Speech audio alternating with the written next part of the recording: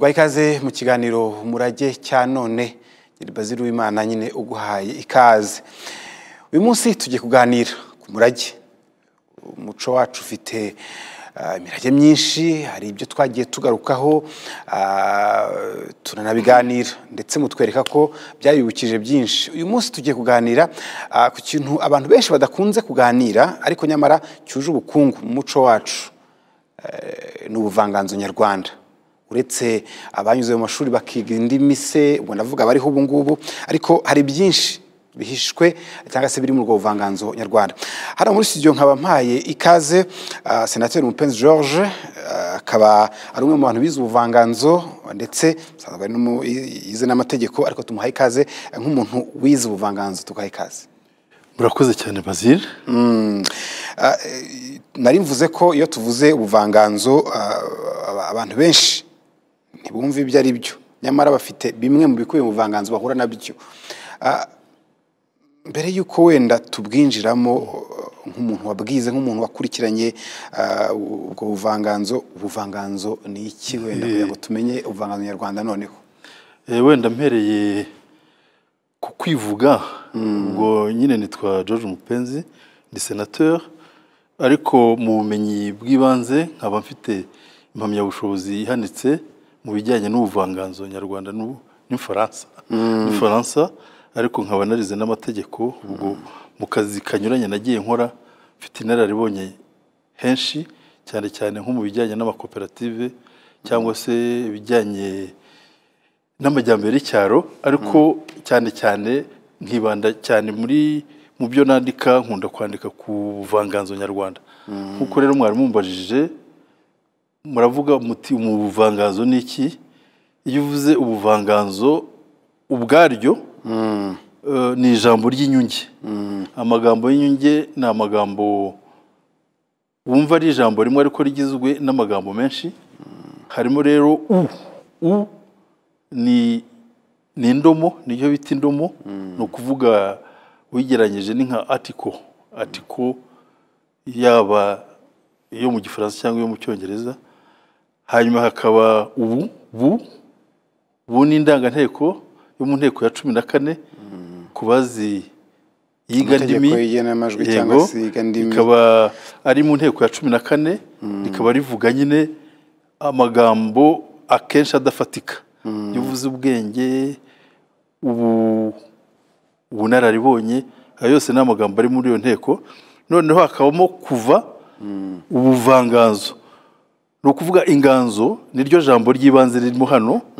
Rikaba rero ryavuga iki? Inganzo ushobora ko kuvuga yuko eh, ni inganzo y'imihimbire.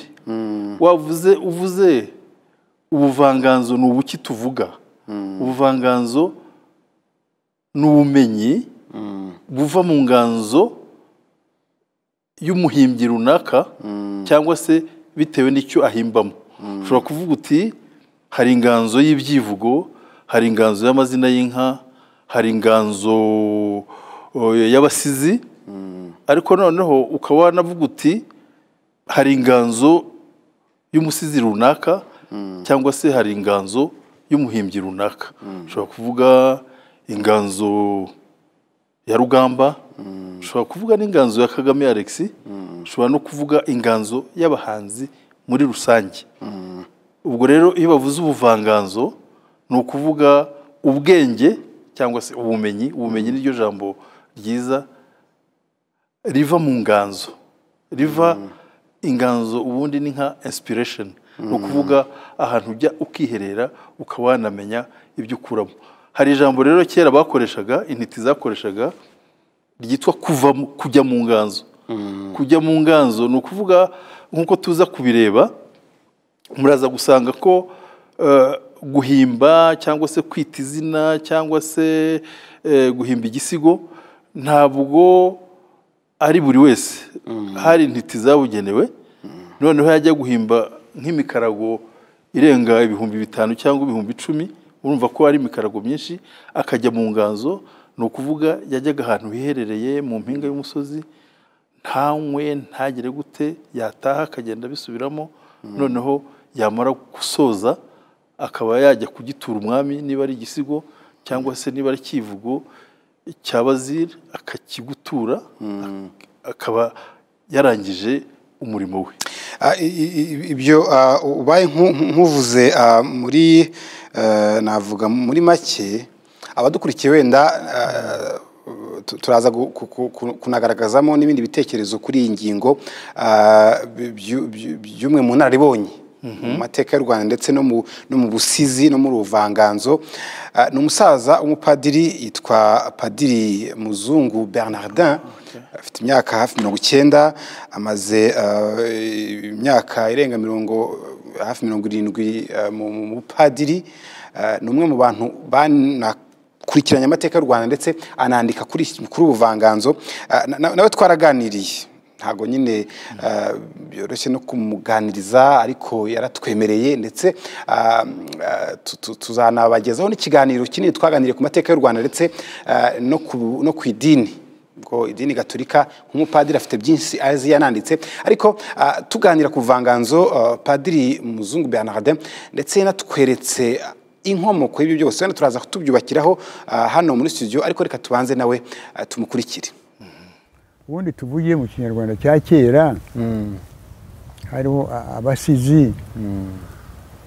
Hakabaho mbese tuvuge hari ari nk'imyuga nyine yo guhinga yo kubumba yo korora. Urumva?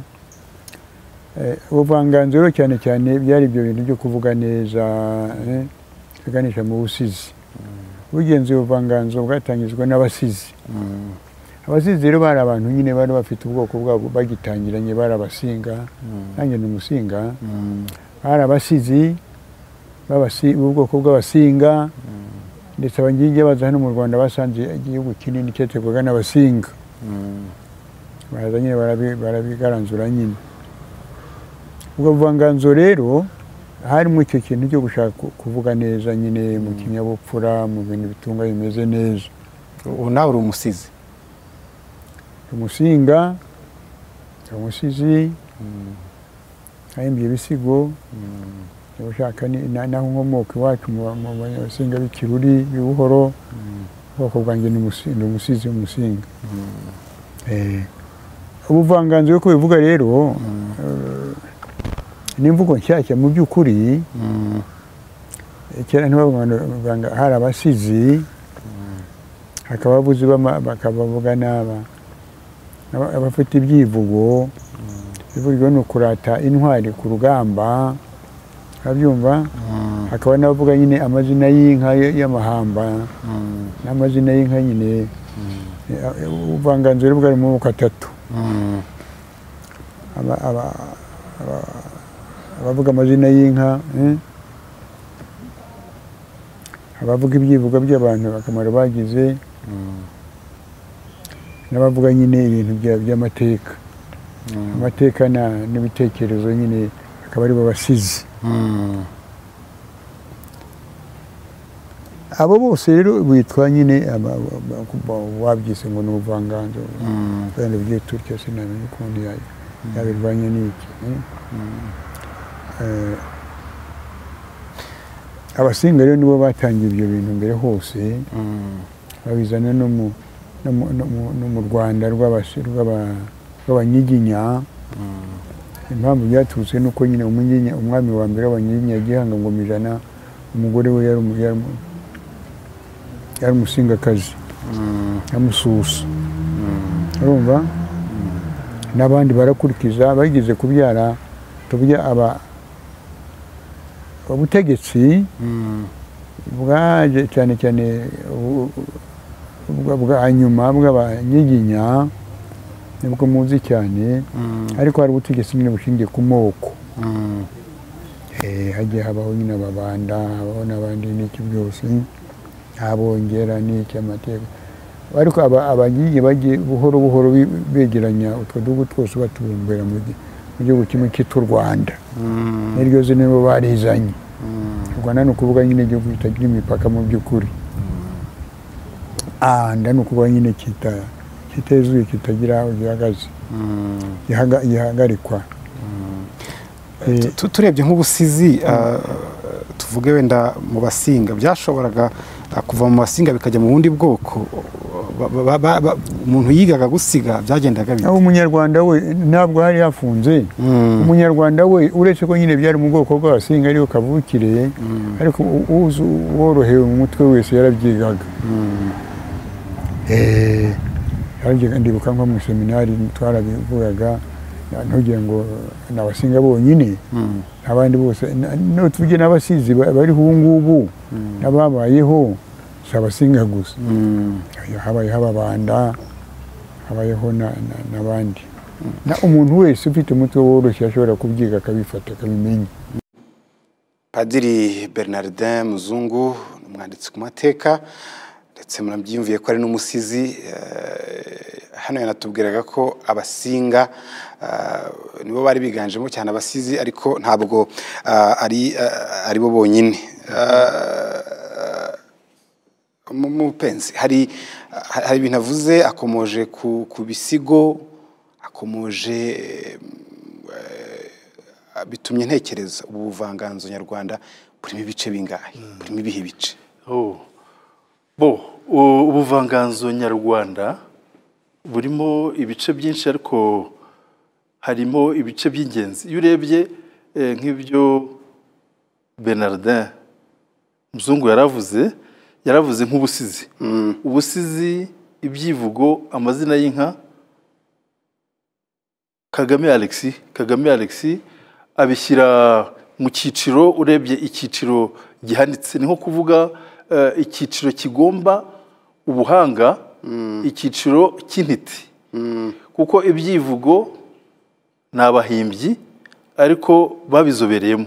Kuko ibyivugo birimo ibyivugo by'iningwa ibyivugo by'iningwa n'ibyivugo bigufi Eh, bigufi byinshi muba mubizi bavuze inshyikana ku mubiri ya rugema hica icumu ryera ikigembe nariteye etc iteka iningwa iba ifite nyirayo.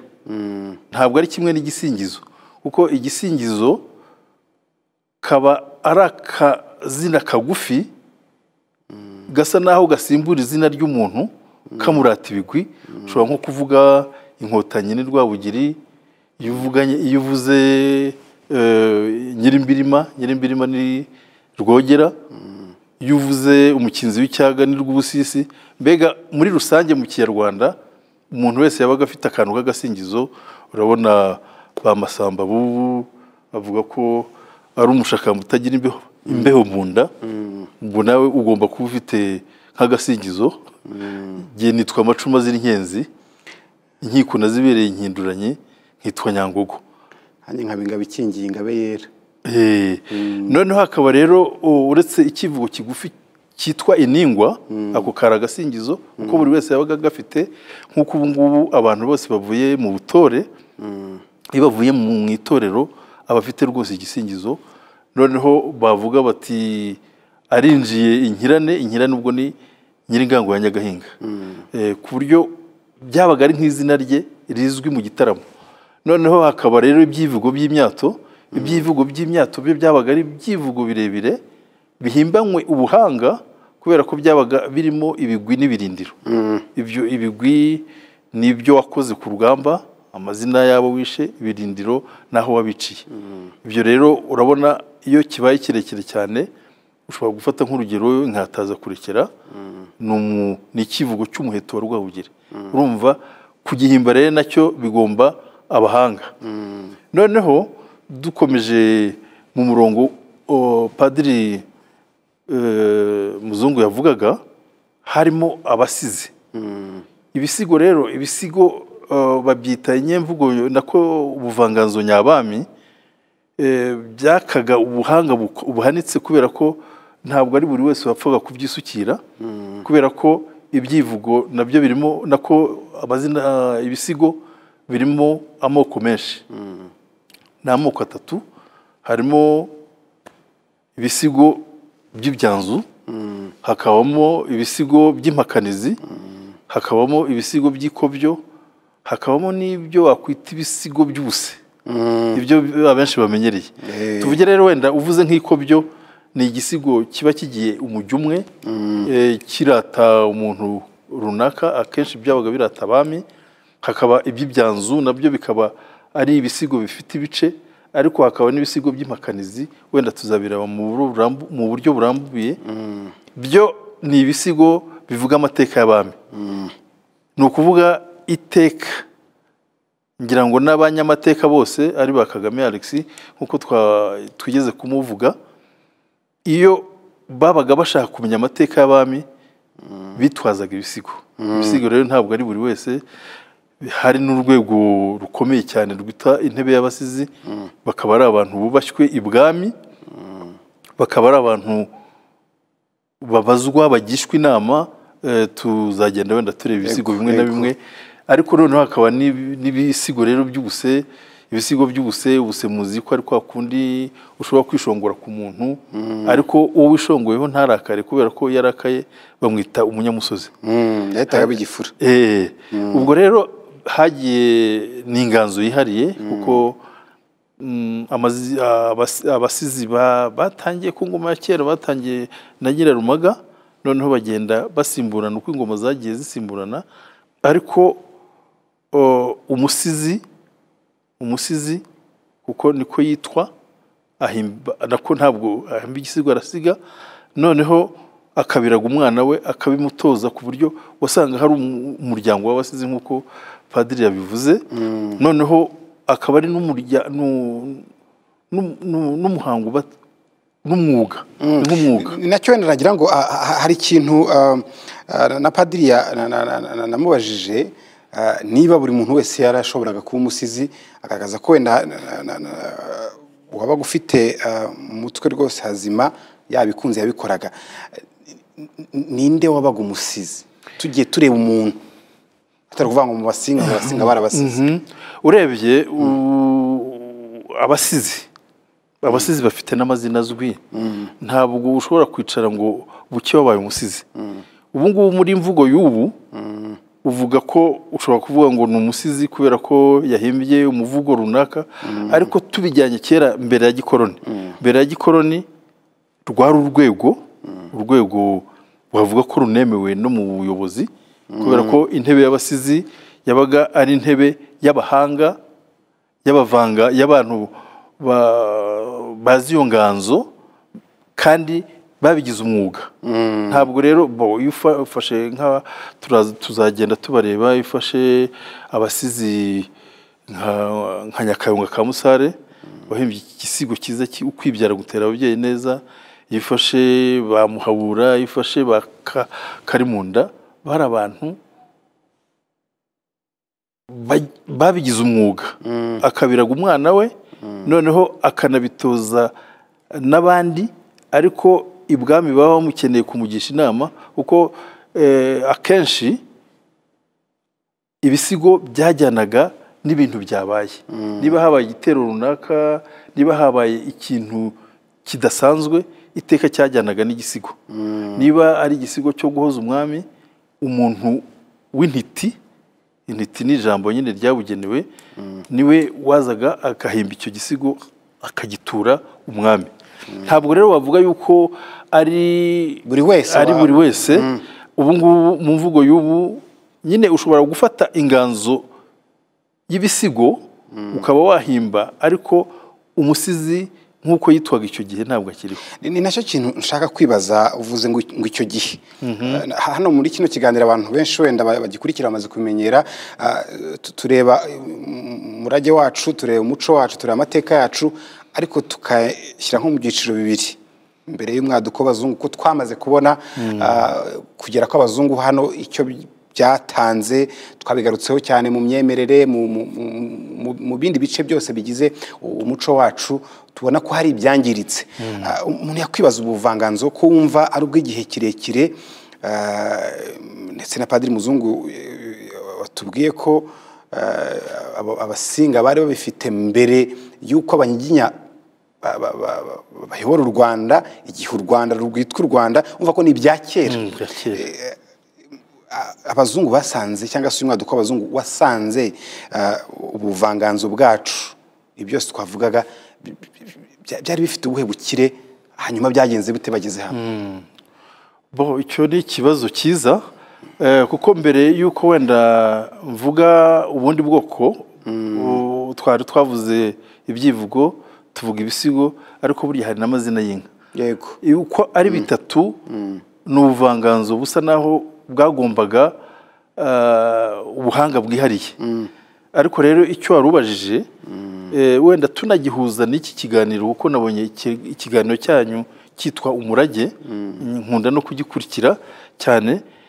Iyo urebye muri iki gihe usanga akenshi abantu bagira impungenge y'uko batakaje ibintu byinshi ariko ku bintu bijyanye n'ubuvanganzo nyamvugo rwose twashima ari rudahigwa ari kagame kubera ko kagame yarabitojwe abitojwe abigira umwuga abigize umwuga eh, aza kubonana na- na rudahigwa kuko rudahigwa yari yagiye mu gitaramo abonye kagame abizi noneho amuzanira inzobere zose zariho kubera ko eh, rudahigwa nawe ubwe yimye imihango yamukorerwagaho y'ubwiru itagikorwa. yaramaze kuvaho. Noneho akavuga ati nyamuneka uyu mutungo kamere w'u rwanda nuramuka utakaye eh, tuzaba tu- dutakaje ibintu byinshi. Niyo mpamvu aya mateka menshi tuyakura mu Eh, bitabo byanditswe na Alexis Kagame iyo rero ungarutse ku kibazo mwari mubajije iyo urebye amateka y'u rwanda. Amateka y'u rwanda ntabwo nagarukaho ariko iyo urebye ukuntu bagashaka buhake ubwo ndavuga abazungu uwa mbere yageze mu rwanda atungurwa n'ukuntu abonye igihugu kimeze neza. Umenye ko gashaka buhake yazanye n'abanyamadini abo bitaga abamisiyoneri. Ba misiyoneri nabo baza bafite misiyo ngo ni ukuvuga bari bafite ubutumwa. Bahageze rero basanze ibintu bidasanzwe. Ntabwo mbitindaho cyane ariko wenda umuntu avuze bimwe na bimwe. Bo hari ubwo buvanganzo ubwo bwagumyeho ariko bari bafite n'imyemerere imyemerere. Imyemerere cyane bari bafite idini ryemera imana imwe bikame- bikamera nk'igitangaza kubera ko andi madini yose yasaga naho yemera imana nyinshi. Noneho bagasanga abantu babonye badasanzwe. Ntabwo rero ngaruka ku mayeri bakoresheje kugira ngo basenye ubumwe bw'abanyarwanda abantu bavuga ururimi rumwe abantu bashyize hamwe eh, burya nta n'igihugu cyari cyarigeze ki- kibameneramo. Ni ukuvuga umwaduko w'abazungu uza uwa mbere ni von Gotzen yaje ngira ngo igihumbi kimwe na magana inani na. Ariko na kane, icyo gihe kwa kundi bavuga ngo u rwanda ntirukora ku nyanja usanga byari nk'amahirwe akabije kubera ko byatumye u rwanda rwunga ubumwe kandi rukamenya ibibera ahandi ariko bari bazi yuko isi itangirira mu rwanda igaherera mu rwanda. Noneho kutaba ku nyanja ngo bamenye iby'abahinde ngo bamenye iby'abarabu ngo bamenye iby'abacakara kuko buriya hacuruzwaga abacakara byatumye bakomeza kuba umwe bemera umwami kuko baramwemeraga ariko noneho bemera n'ibibahuza. Ibibahuza rero ni ibyo byose. Ni ubuvanganzo nyamvugo kuko ntabwo bandikaga ariko ibi byose ari ibyivugo ari amazina y'inka ari eh, ibisigo. Ibisigo. ni ibintu bitagombaga ubwoko. Ntekereza yuko n'iki kintu cyo kuvuga ururimi rumwe ari cyo kintu bahereyeho bagira ngo ba- bareme amoko bagabanye abantu bavuge ko bamwe bavuye muri abisiniya ni ikintu cyabaye kibi cyane ariko iyo tugiye mu buvanganzo jyewe bo nagize amahirwe yo kwigishwa na kagame alexis imyaka itatu yose ku buryo uretse ibyo yanditse byinshi. Burya bavuga yuko kagame alexis yanditse ibitabo birenga mirongo irindwi na- n'umunani ngira ngo yari afite inyandiko zirenga ijana na cumi na ariko ibyo yavugaga muhuye ni byo byatumaga ubona koko ko wahagarara wemye ukumva koko wagira n'ishema ryo ryo kuba uzi ubwo buvanganzo bwa kera. Ubwo rero ni ubuvanganzo wavuga ko ari ubuvanganzo bwo mu rwego rwo hejuru nirwo bavuze ubuvanganzo nyabami ubuva ibyivugo urumva byarimo roho y'icyo gihe yo kuba kwigamba ko wishe umubisha ariko icyo gihe eh, byagaragaza ubutwari. Umuzungu yaraje ibyo bintu abona ko bifite ubutunzi nk'ubwo ngubwo. Eh, eh, kuko urumva donc, iyo haje haje umusirikare umusirikare kuva Rwotsen yari afite imbunda. Ariko inyuma ye haza n'umumisiyoneri. Umumisiyoneri uje kwigisha idini. Kwigisha idini gaturika. Noneho uko yaje? Yaraje nyuma yo gutangarira abo bantu yabonye abantu bafite umuco abantu yabonye banyuranye n'abandi yagiye abona. Nibwo atangiye kuvuga ati aba bantu ntabwo ari abirabura. Atangiye kuvuga ngo ntabwo ari ari abirabura noneho yabona eh, ari imigenzo yabo ari imico atangira kuvuga ati aba bantu bashobora kuba ari abazungu b'abirabura ntiwamenya aho babikuye. Bagiye babivuga nyuma byaje gukora ishyano nyine kubera eh, ko bagiye ba- bashaka nyine kwica umuco nyarwanda no kwica ubumwe bw'abanyarwanda cyane cyane basenya ibibahuza. Noneho bo bavuga yuko muri za mirongo icyenda na kane n'igerageza rwose bagiye bakora muri za mirongo itanu n'icyenda basa n'ababigezeho ariko nk'ubu icyo dukomeza kuvuga ni uko nibura nk'uwo muco. N'ubu ngubu ngira ngo urabona yuko iyo ugiye ahantu hari ibirori urabona abantu ntabwo bavuga amazina y'inka nk'uko kera yavugwaga. Wenda nta nubwo bahamiriza nk'uko abakera bahamirizaga ariko ubona yuko bivuga ubona yuko baririmbira inka ubona yuko eh, basiga basiga. Eh, mbega tugarutse kuri icyo kibazo wari ubajije ingufu nyinshi urabona bazi- bazishyize mu gusenya mu gusenya idini. Idini imyemerere. Aho rwose navuga yuko babigezeho kubera ko iyo urebye imyeme- imyemerere y'umunyarwanda mbere ya gikoroni na nyuma ntaho bihuriye. Kuko bavuze yuko ibyo bemeraga byose ari iby'abapagane hanyuma babibakuramo byose imihango yose. Ariko ubuvanganzo urebye eh, ntabwo ntabwo babumeneyemo cyane. Ahubwo kwa kundi bazaga bitwaje n'abashakashatsi iyo bahageraga basanga ari ibintu bihari noneho bagashaka kubibyaza umusaruro ariko bakagenda bahangana noneho n'abashakashatsi b'abanyarwanda buriya nka ba kagame alex babaga bafite abanzi benshi b'abazungu.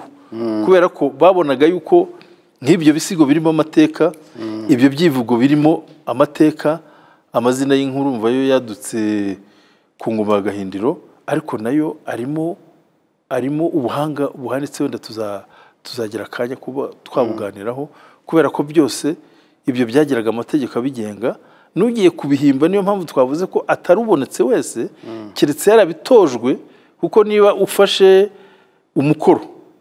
Yuko ugiye guhimba icyivugo gifite amategeko akigenga. Niba ugiye guhimba izina ry'inka gifite amategeko abigenga etc etc ni ukuvuga rero ntabwo ari buri wese umeneramo kubera ko uwabimeneragamo akabimenya yabigiraga umwuga umwuga ukamutunga akagabirwa agatunga agatunganirwa. Ha- hari abazungu baba baragerageje gushakisha aya aya mateka cyangwa se ah, ubwo bukungu bwuje buri muri ibyo ah, bakabigerageza wenda bakaba nyuma baragaragaje nk'ubushakashatsi bakoze cyangwa se nk'ibitabo banditse ku buryo umuntu yavuga ko byari byabakuruye. Eh, byarabakuruye cyane cyane ku buryo hari cyane cyane abapadiri babera hari nk'abitwa ba pagesi pagesi akigera mu rwanda rwose yanditse igitabo cyitwa un royaume hamite au centre de, de l'afrique. Hari abitwa de l'acre hari abitwa ba dermas abo ni abagiye mu- bijyanye n'ubuvanganzo. Umuntu ashobora gufata lisite ndende. Ariko noneho hari, n'abagiye mu mateka. Hari abitwa ba dertiferte hari abitwa ba, make hari abitwa ba lugan. Mbega ni ukuvuga basanze u rwanda ni nka pepiniyeri pepiniyeri y'ibintu byinshi bagiye babikoraho ubushakashatsi akenshi bakabigonganiraho n'abashakashatsi b'abanyarwanda kubera ko nabo bari bahari? akenshi babapadiri murabona nka babigira umwami babaga bandika ba benarde muzungu ni we wanditse rudiyo de pere noneho abenshi bigaga i nyakibanda ndetse n'abariya ba rugamba aba bahanga bose tuzi ba gamarere mbonimana abitwaga ba byusa mu miziki na ba sebakiga ni abantu bari bararebye ishami ku ishami ishami ku rindi bakareba mu ndirimbo ibyiza by'icyo gihe bakareba mu nanga bakamenya imirya bakamenya uko indirimbo zimeze. Noneho abandi baza bagatangazwa n'uko babitanzwe nabo noneho akenshi bakabi- bakabishwanira. Tuvuge nk'iyo ugiye mu by'iyiga ndimi uzasanga ko hari nk'uwitwaga kupe kupe yanditse ibitabo byinshi ariko André? ah byari intambara. Yitwaga André Coupe ariko yahoraga ahanganye na Alexis Kagame. Kubera ko iyo yakandiraga ahantu yasangaga barabikozeho. Ababikozeho agashaka kubagira nk'abagaragu babo. Yashaka kubagira aba- abagaragu babo bakamwangira bamwangira rero bagashwana. Hanyuma ugiye no mu bindi ubwo ibyo ni mu buvanganzo bw'abahanga ni byo navuze ko ari urwego ruhanitse ariko hari ubundi buvanganzo eh, hari nk'imigani miremire.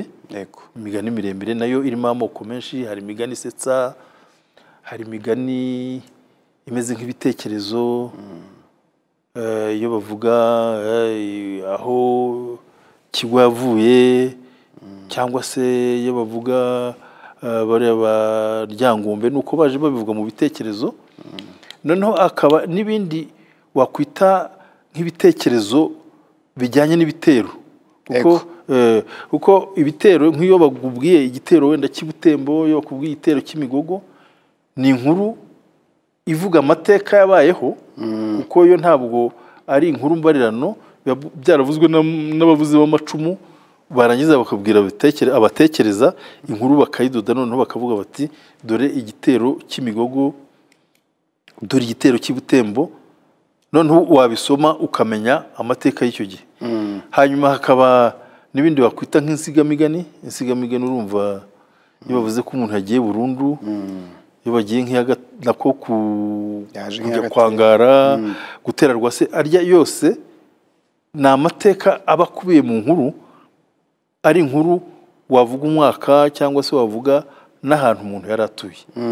Hanyuma hari utundi du- hari uturingoshyo uturingoshyo gera so tunga tunga gege gera so gege gege amahina aho ni mu ni mu buvanganzo bugiye mu bantu baciriritse ni ukuvuga ugiye muri rubanda usanga mu miryango mu miryango. igitaramo kiri aho ngaho cy- cy- cy- cy'abantu basanzwe. Nimugoroba barataramye bara- baravuga baragucira umugani barakubwira uwase muhanuka barakubwira umukobwa mu gisabo iyo ni imigani na yo ya rubanda rusanzwe ariko irimo imyemerere y'abanyarwanda. Ariko hari we- wenda tuzagira eh, igihe cyo ku- cyo kujya mu byiciro kuko eh, numvise ko ari ibintu bikungahaye cyane umuntu atavugira muri iki kiganiro.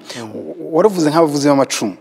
Ah, urugamba rurarangiye abavuzi b'amacumu baragarutse uti babwiye abatekereza hanyuma du- dukuyemo igitekerezo kandi umuntu asoma nk'iyo umuntu asoma igitero cy'imigogo eh, wumva ko ah, ah, iyo ukinjiyemo wagira ngo bagiye muri muri mu- mu- muri urwo rugamba.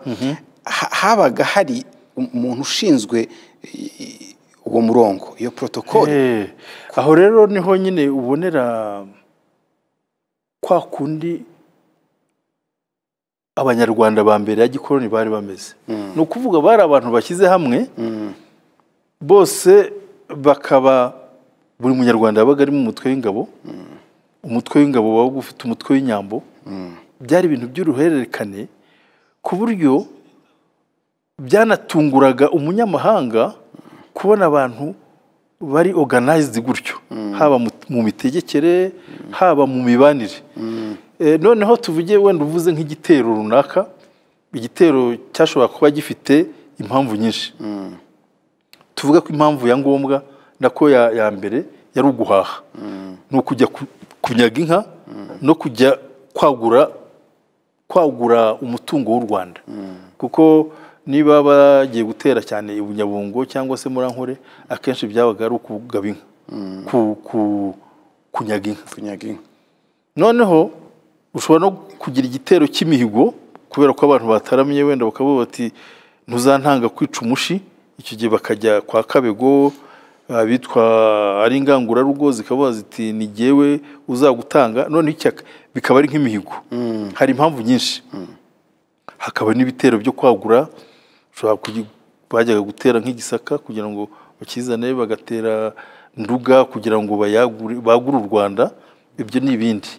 Ariko mu mateka nyine ibyo bitero birimo. Noneho kugira ngo inkuru inkuru izabe inkuru. Ni nabwo bwa buhanga kubera ko mu gitero harimo ingabo sibyo? Z'intwari zizwi harimo abakoni abakoni ni abitwazaga inkoni bakajya kuzana inka bazishoreye n'ibyo banyaze byose.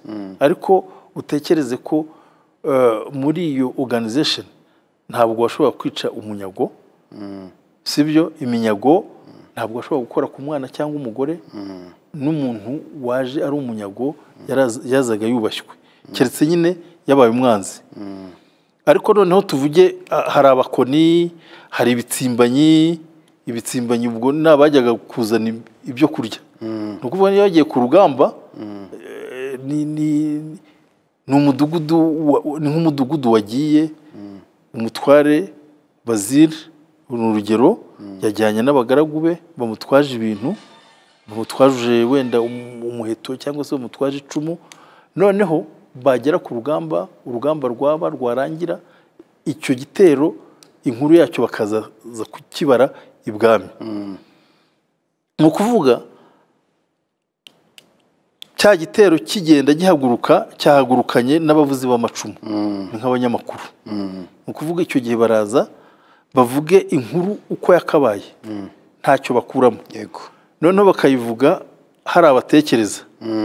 Abatekereza ni abantu ba- bashinzwe nka editing ni abantu barumva inkuru kubera ko wenda habagamo n'amakabya nkuru. Kuko babaga bashaka ikintu kigarura ishema abanyarwanda ariko iyo babaga batsinzwe na byo bageraga uko babivuga kuko ntabwo bashoboraga guhisha umwami wabatumye Yego. ngo bamuhishe inkuru uko yagenze. Ni ukuvuga rero urumva eh, harimo ubuhanga harimo ku uburyo uvuga inkuru. Nayo wayivuga ikaba nk'inkuru umuntu yajya agutekerereza utaramye akabubwira reka mbatekerereze ko igitero cy'imigo cyagenze. Ibi byose rero niko Nuko byagiye bihererekanywa. niko ari aba ba muzungu bernardin ari aba ba kagame alexis ari aba bose. Niko bagendaga babikura mu babi- mu babizi kubera ko bagendaga babitoza abandi. Mbere y'uko tujya ah, ku- murage dukura muri ibi byose ah, wari ukomeje kuri kuri padiri muzungu tunaganira ah, yakomoje ku kamaro. Akamaro wenda umuntu wese yahita abonera ah, muri ubu buvanganzo ah, hanyuma ah, atubwira nyine icyabaga kirimo reka tubanze tumukurikire turaza tureba noneho umurage bya- bya- bya- byasigiye abanyarwanda cyangwa se bidusigira none. Igisigo. Eh, umuntu yatangiraga kuvuga igisigo afite icyo ashaka kuvuga ashima. Afite ikintu cyane cyane ikintu gishingiye ku mateka amateka ibyabayeho byose. Mu byabayeho abambere icyabayeho ni- abantu abantu nyine babaye cyane cyane uko batekaga uko basumbanaga. Ukaba wari ufite ukuntu uwa mbere mu mu butegetsi bwariho mu rwanda rwa kera yari umwami. Ugasanga rero muri ibyo bisigo barata ibikorwa n'ubutwari bw'umwami. Bakarata ibikorwa by'ubutwari bw'abatwari bamufashaga. Abo kumva bariho nyine. N'abandi n'aba- n'ibisonga. Ugasanga bashima ibikorwa byiza byabagaho. Tuvuge nk'ubutwari. Ugasanga nk'umuntu wagize akamaro bamuvuga neza. Ugasanga nk'umuntu wahemutse wahemukiye igihugu wagize ati nawe bamuvuga nabi bamunegura ugasanga nyine bafite ibisi- ibisigo by'ubusa bamunegura bamuseka. Eh, ugasanga nka- nk'abasizi ba nka sekarama kampumba yakundaga ku- ku- guseka nyine ba- ba- ba- bagira amafuti. Eh, ibisigo by'ubusa. Akaba niba ryo gusinya. Ubu ariko ubwo bwenge bwo mu rurimi bwo gushima ibyiza no kugaya ibibi byari ibintu bifite akamaro. Cyane cyane muri ibyo harimo kuvuga amateka y'u rwanda yabayeho. Mm. abasizi ugasanga akamaro mu- byo bakoze by'ingenzi nuko ari bo batumye amateka y'u rwanda yandikwa mu mutwe w'abantu bakayamenya bakagenda bayihererekanya ba- ba- kuzageza kugeza igihe cyose Mm. buri mwami ugasanga afite abe bavuga amateka ye n'ibiko- n'ibikomere ibikorwa bikomeye yabaye ku ngoma ye. Mm. hanyuma nk'ibyivugo. Ibyivugo na byo rero byari ukurata ubutwari bw'abantu bw'akamaro abantu bashobora kugira. Ubu harimo kuvuga ingeso nziza zishimwa n'ingeso mbi zigawa umuntu rero akivuga ko yagize atya n'atya n'atya ni ukuvuga akamaro yagize. Ko ari umugabo rero. Uwakosheje wagize nawe bakamuseka akaba ikigwari akaba imbwa Eh, akaba yara- yaratsinzwe cyangwa yarahunze cyangwa yaragize ati. Eh, buri cyiciro cyabaga gifite icyo kivuga ah, nk'uko padiri muzungu abivuga hari n'ibyo ugeze gukomoza wenda nti- ntitwabone igisobanuro cyabyo ukomeje ku migani migufi n'indi. Wenda mbere y'uko tujya ku cyo ibi byose byahindutse nyuma nyuma y'umwaduko w'abazungu. Bo urebye hari ibintu byarimo indangagaciro zihanitse cyane. Eh, nk'iyo urebye nk'ibyivugo ubona bitaracitse burundu. Kubera ko umunyarwanda usanga ikintu cyo kwivuga wenda ushobora gufata inganzo y'ibyivugo bya kera ukayikuramo roho y'ubwicanyi ukaba wavuga ikindi kintu cyiza. Ushobora nko kuza eh, wenda ibikorwa by'ubutwari ni byinshi. Eh, ushobora kwivuga ko wafashije umuntu yishwe n'inzara ushobora kuvuga ko wakoze ikintu runaka ushobora kuba buriya nko mu mihigo mu mihigo ubona yabaye nk'umuco umuco mwiza ushobora gusanga umuntu avuga ati nzakora ibi nzakora ibi nintabikora nzahanwa. Ugasanga inganzo y'ibyivugo Ntaheraho. Eh, ntabwo wavuga ko yazimye. Eh, noneho ugasanga wenda buri rwego rufite indangagaciro zagiye zikomezanya n'abanyarwanda kuko nk'iyo uvuze nk'igitaramo cya kinyarwanda. Usanga nk'ubu byarongereye imbaraga cyane kubera ko abantu basanze harimo ibyiza byinshi barabikomeza. Ushobora no kuvuga wenda ko bagashaka bake bashatse kugenda babica ariko byanze gucika. Kuko iyo ufashe nk'imigani migufi imigani y'imigenurano usanga irimo ubuhanga buhanitse yavuze igiti kigororwa kikiri gito sinzi niba ufite inkoni ivuna igufa ntivuna ingeso ntivuna ingeso umutima wa muhanano ntiwuzura igituza. Wumva harimo ibintu by'u- by'ubwenge bwa buri munsi ku buryo batashoboye kubi- kubica.